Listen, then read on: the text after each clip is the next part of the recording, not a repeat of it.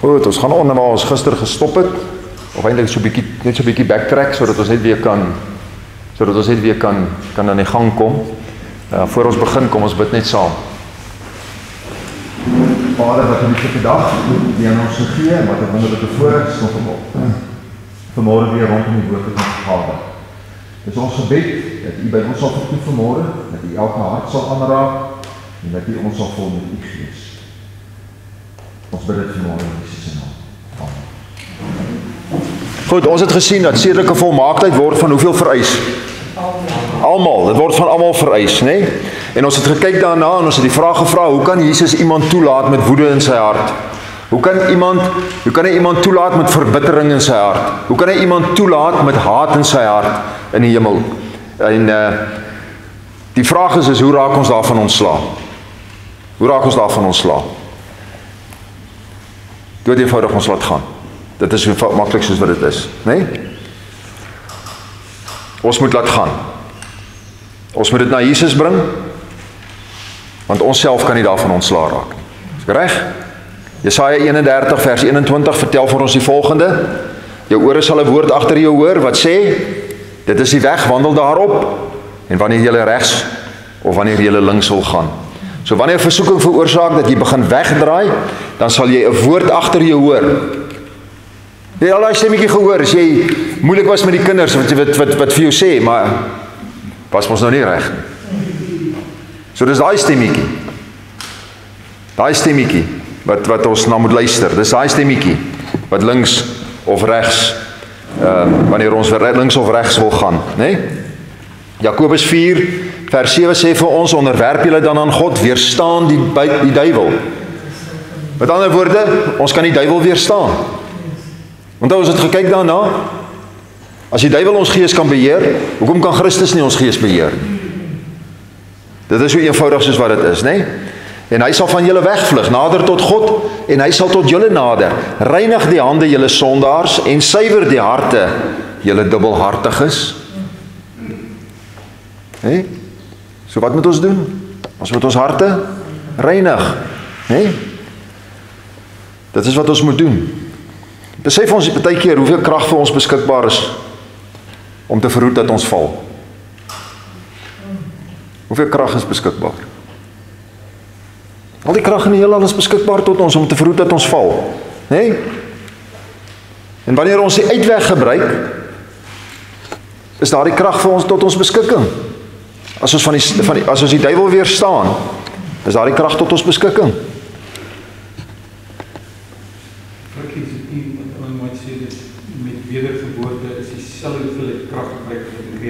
Vir die skepping, ja. Dis reg om 'n nuwe hart te skep. Verstaan? nuwe persoon in Christus te skep, dieselfde krag wat gebruik word as wat met die skepping gebruik was. Ja. Dieselfde krag in die opstanding, ja. Ja. Wat 'n krag is dit? Dis die woord. Gespreeke woord. Dis wat dit is, né? Nee? Ons het hierna gekyk stemme deur God geïnspireer roep. Dit is die weg wandel daarin. In die mens indien die mens op die stem van waarskuwing ag gee, Indien hulle op God se leiding wil vertrou en nie op menslike oordeel, sal hulle veilig wees. Ons het almal ons het almal daai daai stemmetjie. Ons noem dit die sesde sintuig. Nee? Maar hoe luister ons na daai sesde sintuig? Baie keer ons luister nie en dan kom ons in die moeilikheid. Want as jy luister na daardie stemmetjie wat deur God geïnspireer is nie. Né? Nee? So Ons moet sens, ons moet sensitief ons moet so sensitief word vir die heilige invloed dat die sagste fluistering van Jesus ons siel sal beweeg. Dis hoe sensitief ons moet wees.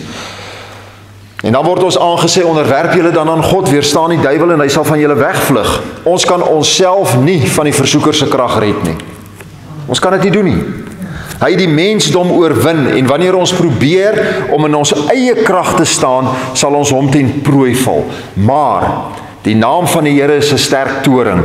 Die regverdige hardloop daarin en word beskik. Satan bewe en vlug voor die swakste siel wat skuilings vind in daardie magtige naam.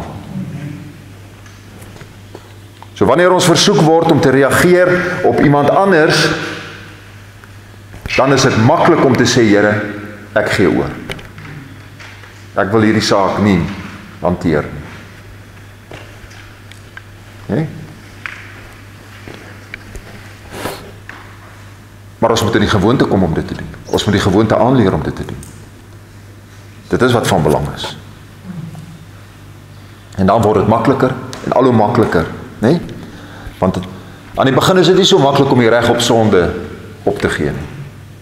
Dit is nie so maklik nie. Maar ons moet oefen, né? Nee?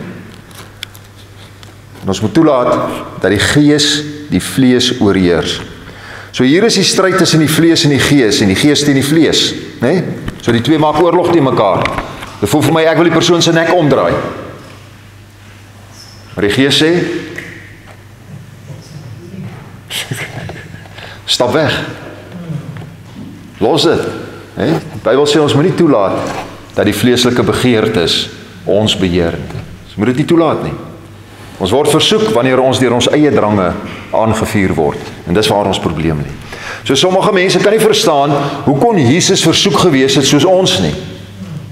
Ons word versoek deur wat? Drange. Né? Nee? Dis wat ons versoek. Né? Nee? So ons moet die natuur van Jesus verstaan en wat hy vir ons deurgegaan het. So kom ons kyk daarna. Hoe hy die menslike lewe deur volgehoue oorgawe gelewe het. Dis wat hy gedoen het. Hy het die gevalle menslike natuur of vleeslike natuur gehad waardeur hy sondige drange kon aanvoel. Is dit nie? So wat is die drange wat 'n Christen voel wanneer hy dit wanneer wat 'n Christen voel wanneer hy dit beleef? Hy ondervind 'n drang om homself te verdedig wanneer iemand hom aanval. Of om die eie ek te bevredig.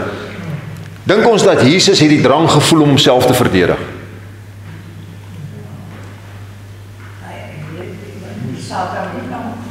Exactly. Tuurlik het hy. Hy was aangeval. Hy was versoek. Hy het die drang gevoel om homself te verdedig, maar hy het altyd God se metodes gebruik. Altyd het hy God se metodes gebruik.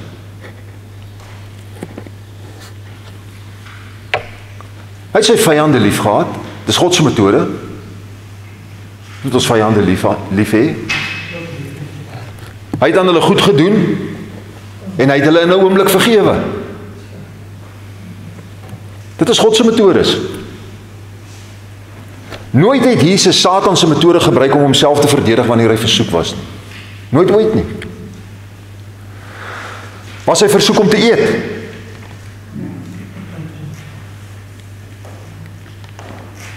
Was hy? Was hy versoek om te eet? Nee, natuurlik. God het toegelaat dat hy vir 40 dae sonder voedsel was sodat hy die sterk drang en die stryd van die vlees kon voel om van voedsel weerhou te word toe God gesê het dis nie tyd om te eet nie.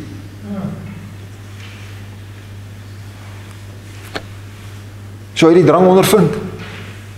En wat sê die Bybel? Hy het naderhand honger geword. Het sê die Bybel dit nie? Dis honger en drang.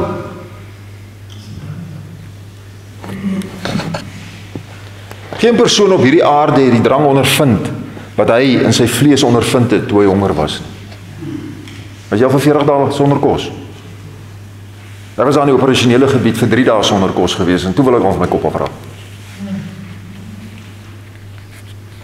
Staan. Het Jesus die drang aan vriendskap ondervind? Ja. Sal 'n Christen heiden vriende wil hê?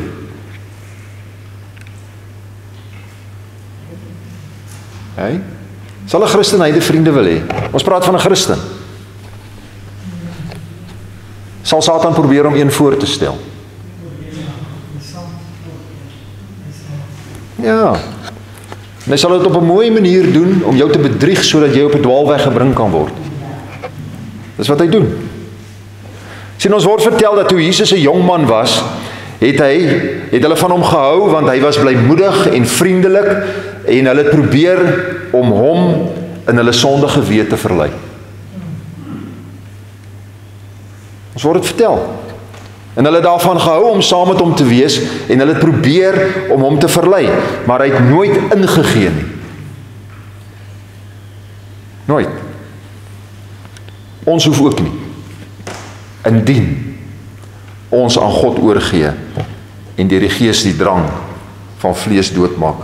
So die Heilige Gees sal jou nie dring om 'n sekere rigting in te slaan nie. Die Heilige Gees sal 'n stil stemmetjie kom en jou waarsku veral wanneer jy in die oggend die Here vra om jou deur die Heilige Gees gedurende die dag te waarsku. Dis God se uitweg.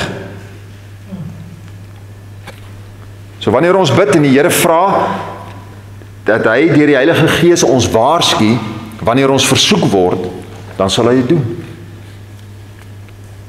Hy sal dit doen. En op een of ander manier sal hy 'n manier vind om met ons te praat. En ons moet na sy stem luister. Hy sal jou nie dwing om die uitweg te neem nie. Dit sê vir ons moet nie vir 'n oomblik stop om te redeneer. Satan sal verheug wees om te sien dat jy deur versoeking oorwin is. Hoe bly was hy gewees toe hy dit kon regkry met Moses?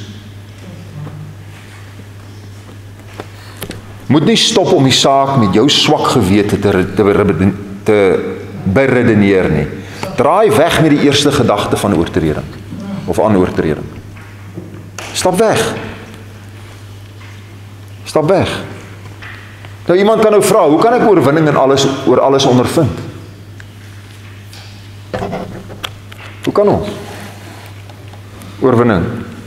So ek kom na die altaar en ek kom met 'n duisend slegte gewoontes en ek gee myself aan Jesus oor en ek is gereinig van alle ongeregtigheid en ek het nou die regte drang en houding en motiewe maar ek gaan versoek word. Is ek reg?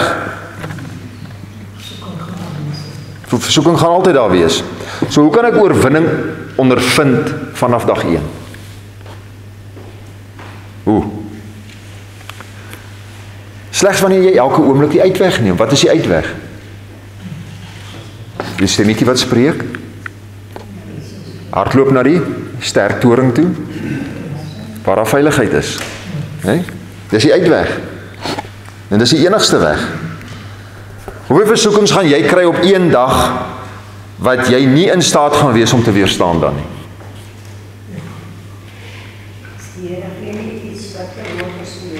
Dis reg.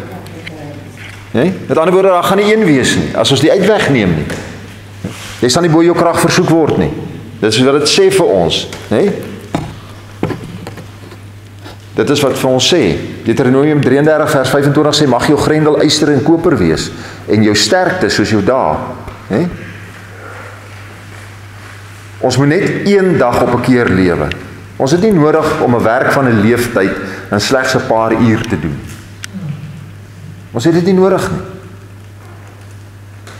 Ons moet nie met vrees na die toekoms kyk nie. Hè? Sê dit vir ons. Ons moet nie met vrees na die toekoms kyk nie. Dan is die vraag, oorwin jy of word jy deur jou eie luste en aptyd en passies oorwin?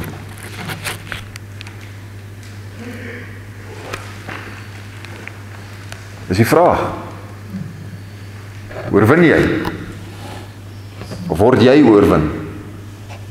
Deur jou eie vrese, jou passies en jou wat se vra dit? Luste. Aptyd. Nee nee, of course, of course die vraag is, is oorwin jy? Ons het nou net gesels oor hoe hoe moet ons oorwin? Ons het nou net daaroor gepraat. Ons moet die uitweg neem. Maar die vraag bly nog steeds staan, oorwin jy? Hè? Hey? God het dit vir ons moontlik gemaak om elke dag oorwinnaars te wees. Hy het dit moontlik gemaak. So die Bybel sê ons moet oorwin soos hy oorwin het. En sommige mense meen om te oorwin beteken om op te staan en te val, op te staan en te val. Is dit oorwinning? Nee, dis nie oorwinning nie. Om oor, om te oorwin beteken dat wanneer 'n versoeking kom, jy oorwinning oor daardie versoeking het. Jy het nie nodig om te val nie. Dis wat dit beteken. Elke dag kan jy 'n oorwinnaar wees net soos Jesus was. Jesus het nooit met sonde betrokke geraak nie. Nooit ooit. Maar hy was net so betrokke met versoekings is, wat ek en jy met versoekings is. Nee? En dit is wat ons moet wees, betrokke met versoekings. Maar in die versoeking val nie. Elke keer wanneer 'n versoeking kom, moet ons aan God oorgee. En so word ons elke dag 'n oorwinnaar.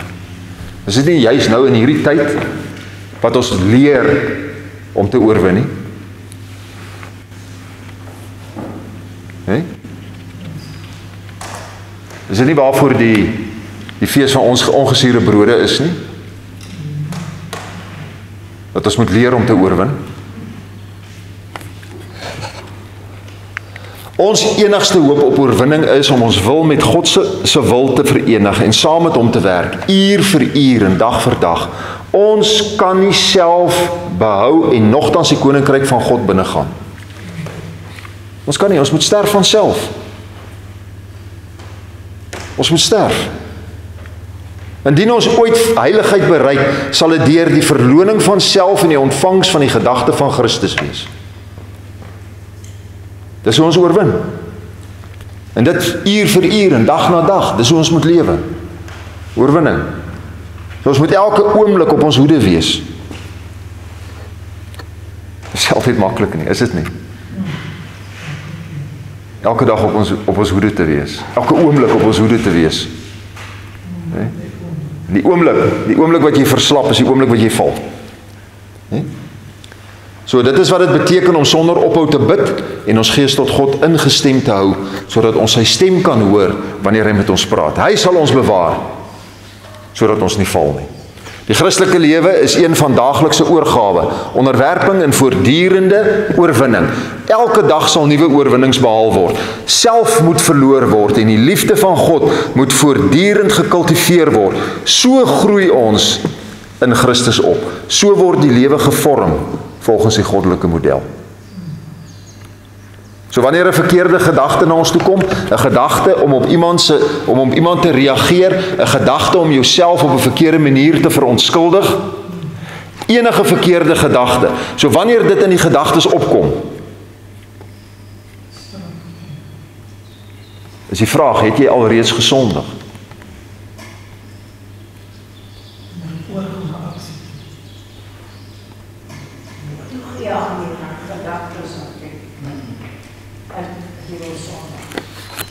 OK, so ons lees. Daar is gedagtes en gevoelens wat deur Satan voorgestel en wakker gemaak word om selfs die beste onder ons te vererg. Maar wanneer hulle nie gekoester wanneer hulle as haatlik verwerp word, word die siel nie daardeur met skuld besoedel en geen ander word deur hulle invloed besoedel oor dat elkeen van ons 'n geur van lewe tot lewe aan hulle rondom ons sal word. Dan word die Bybel sê vir ons Jakobus 1:14, maar elkeen word versoek as hy deur sy eie begeerlikhede weggesleep en verlok word. Daarna as die begeerlikheid ontvang, dan baar dit sonde en as die sonde tot volle ontwikkeling kom, gekom het, bring dit die die dood voort, né? Nee? Dis wat gebeur. So jy voel 'n drang, jy ontvang 'n gedagte, jy gee dit vir God en jy het nie aan sonde geboorte gegee nie. Is ek reg? Ja, dis hoe dit werk.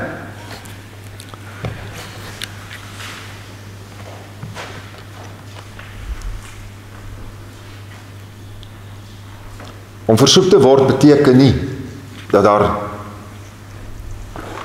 korrupsie in ons is. Dis wat dit beteken. Ons kan 'n rein hart en 'n rein gedagte hê en steeds versoek word.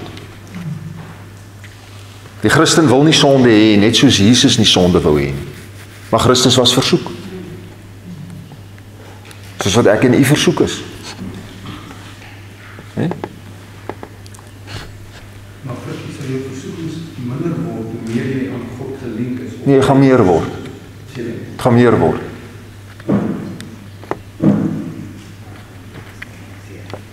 Van die toets geharder en harder word.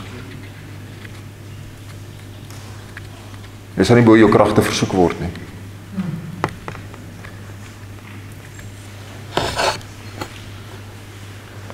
Met ander woorde, die Christen wil nie sonde sonde hê net soos Jesus nie sonde wou nie en daarom kon Satan op verskillende maniere of kom hy op verskillende maniere om jou te vang en jou so ver te kry sodat jy die grens oorsteek. En hy weet hoe om dit te doen. Vir 40 jaar het hy probeer om Moses te laat val. En aangehou en aangehou. Hè? Hey? Totdat hy dit reg gekry het, totdat hy dit reg gekry het. En daarom moet ons altyd op ons hoede wees. Moet nie vir 'n oomblik Satan se versoeke erken as 'n harmonie met jou eie gedagtes nie. Moet nie. Hè? Dit sê draai van hulle af weg. Ek weet nie kom dit daar. Draai van hulle af weg asof jy van die versoeker self wegdraai. Satan se werk is om die siel te ontmoedig. Christus se werk is om die hart met geloof en hoop te inspireer. Satan soek om jou, om ons vertroue te ontsetel. Hy vertel ons dat ons hoop gebou is op valse gronde eerder as op die seker onvervalste woord van hom wat nie kan lieg nie. En wanneer ons nie sonde doen, moet ons die ontstaan daarvan verwerp. Elke emosie en drang moet onder die beheer van rede en bewussyn gebring word. So ons kan nie optree uit impuls nie. Elke onheilige gedagte moet onmiddellik of oombliklik verwerp word na die binnekamer, volgelinge van Christus, bid in geloof en met die hele hart. Satan is op die uitkyk om jou voete te verstrik. Jy het hulp van bo nodig om sy voorwerpe te ontsnap. Ons het die krag nodig. So so jy moet met ander woorde vinnig optree as jy oorwinning wil ervaar. Selfs die gedagtes moet onder die beheer van die wil van God gebring word en die gevoel onder die beheer van rede en godsdiens. Ons gedagtes is nie aan ons gegee om toegelaat te word om verwoesting te bring en sy eie weg in te slaan nie. Sonder enige probeerslag om dit in toom te hou en te dissiplineer. So wat doen die Heilige Gees? Die Heilige Gees, wanneer ons gevul is met die Heilige Gees, is ons onder die beheer van die Heilige Gees. Dis nie meer beheer onder onder die beheer van self nie, Wanneer die gedagtes verkeerd is, sal die gevoelens verkeerd wees en die gedagtes en gevoelens maak die sedelike karakter op. Nee? Ons gedagtes moet reg wees. En dan maak sy hierdie stelling, sy sê sedelike volmaaktheid word van hoeveel vereis? Van almal. Nooit mag ons die standaard van geregtigheid verlaag om sodoende oorgeerfde en aangeleerde neigings tot kwaad toe te laat nie. Nee? Hoeveel keer blameer ons ons ons voorgeslagte vir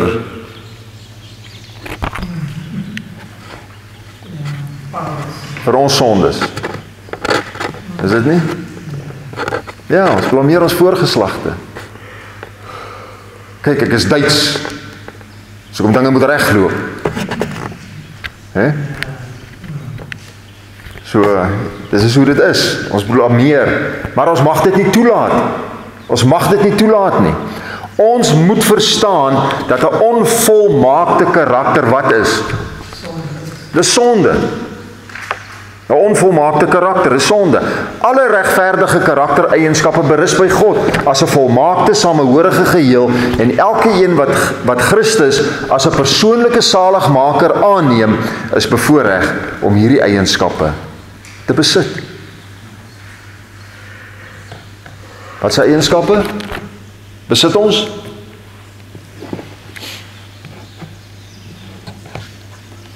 Ons besit die goddelike eienskappe wanneer hy in ons in beheer is.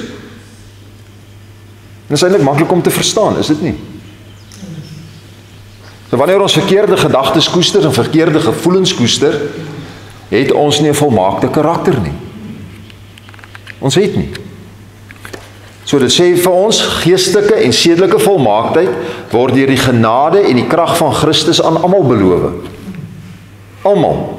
Jesus is die kragbron, die lewensbron. Hy is die kragbron. Ja, ingeënt. So ons hoef dit nie op ons eie te doen nie. Ons hoef nie. Hè? Jy kan jou gedagtes en emosies nie op jou eie beheer nie. Jy kan dit nie doen. Absoluut vir ons onmoontlik om dit te doen.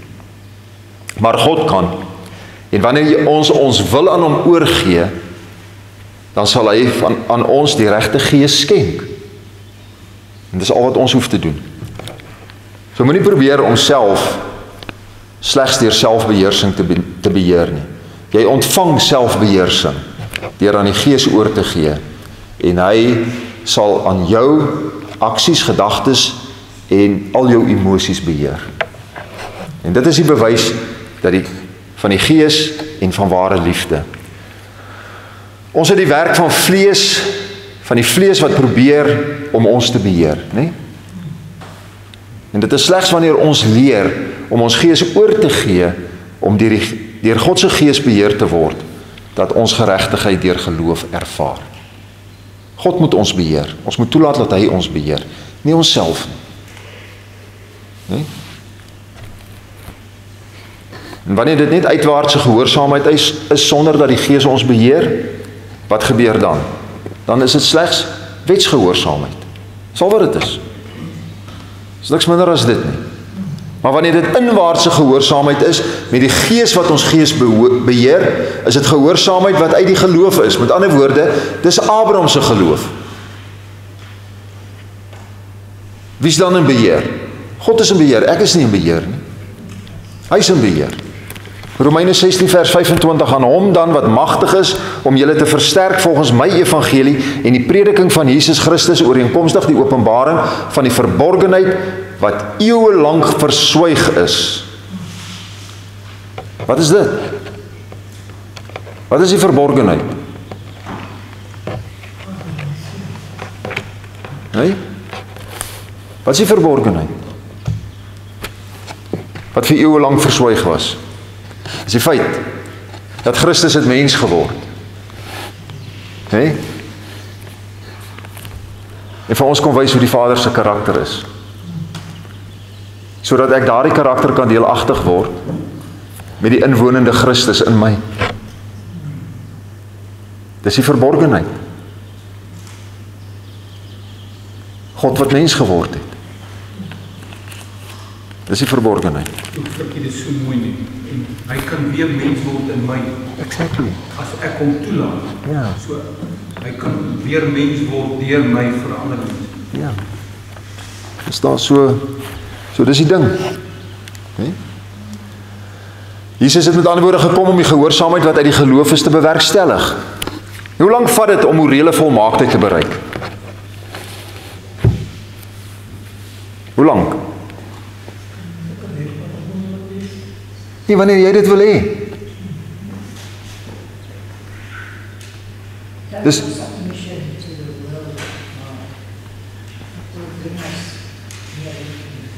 Dis hoe lank dis hoe lank dit vat om morele ag of om om uh vol morele volmaaktheid te bereik. Is wanneer ons dit wil hê. Hè? Met ander woorde, wanneer ons gees vandag aan God oorgegee is en jy die regte houding uh, binne in jou en jy hom toelaat om sy liefde en barmhartigheid binne binne jou te uit te werk sy sagmoedigheid, sy geduld dan ontvang jy morele volmaaktheid elke dag wanneer ons hom toelaat toe Jesus 5 jaar oud was het hy nie alles geweet hoe om God se liefde te leef nie Want hoeveel 5-jariges weet dit?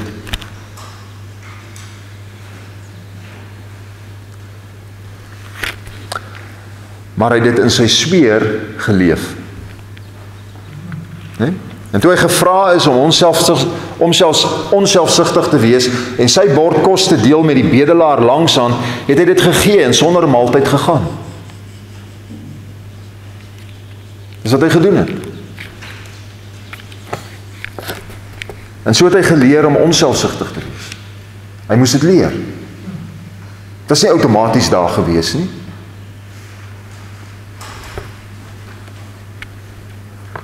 En so het hy geleer om God se liefde te leef. Elke ding wat God van hom gevra het, het hy oorgegee en hy het geleer wat God se liefde vereis. En toe hy 30 jaar oud was en God hom vra om na die kruis te gaan, alhoewel hy wou wegskram, het hy gesê ja Vader. Ook dit sal ek doen.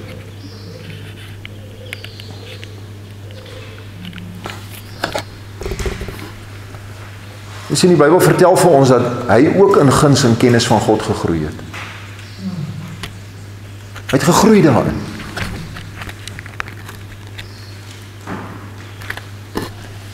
En dit is waaroor heiligmaking gaan. Om in die guns en in die kennis van God te groei. Dis waaroor heiligmaking gaan.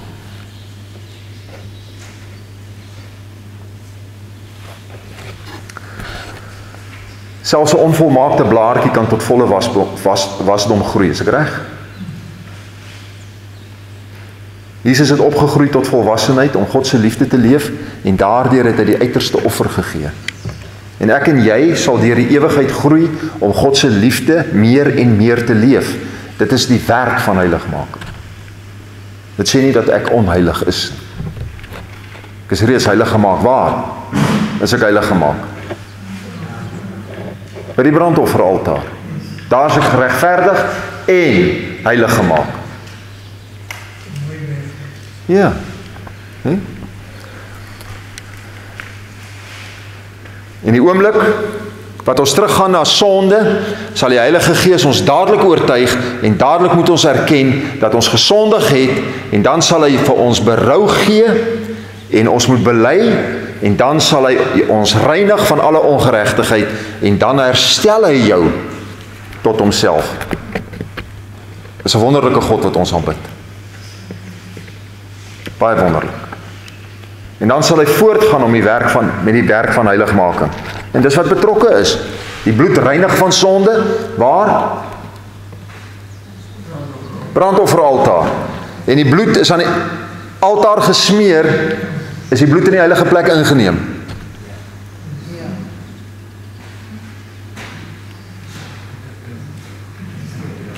Is die bloed in die heilige plek ingeneem?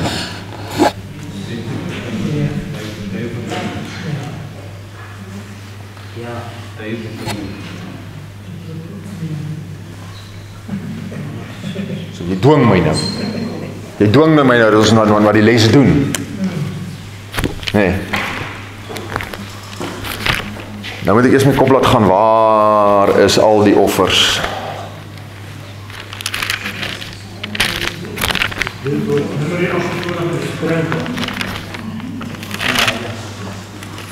Hy.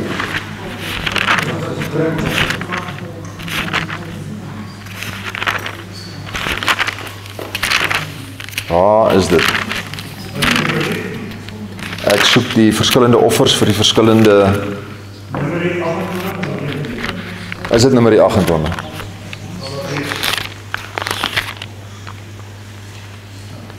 Dis nie die een wat ek soek nie.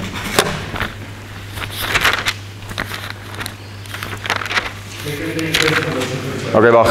Kom ons hou net die gedagte. As ek met die volgende lesing begin want anders vat dit te lank om nou te soek op video. Ehm um, hou net die gedagte as ons met die volgende lesing begin dan begin dan sal ek begin met daai met daai spesifieke een. Dan kyk ons daarna. Waar is die bloed teen? OK, so is ehm um, Right. So aanvaar nou maar wat ek nou gaan sê is is dat die bloed is nie in die heilige plek ingeneem nie. Want wat is wat is in die heilige plek?